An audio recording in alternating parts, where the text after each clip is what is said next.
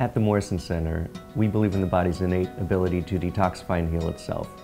Ultimately, our goal is to work with the patients to find the underlying cause of their symptoms and develop a program to help them find a solution. So when a patient comes to our office, we take a comprehensive look at their health to develop individualized, comprehensive, nutritionally based programs. And through this interaction and teamwork, we find that we get great results for our patients. So how do we do this? Essentially, we do this through a comprehensive physical exam and a history taking. We have patients fill out a, a, symptom survey that helps to identify where their symptoms are currently. And then we also do individualized tests to determine what the underlying causes of their symptoms are. We take a very large look at all the potential factors that lead to health problems. At the Morrison Center, we practice integrative medicine. So everything that we do empowers and enables our patients to take control of their health and wellness naturally and effectively.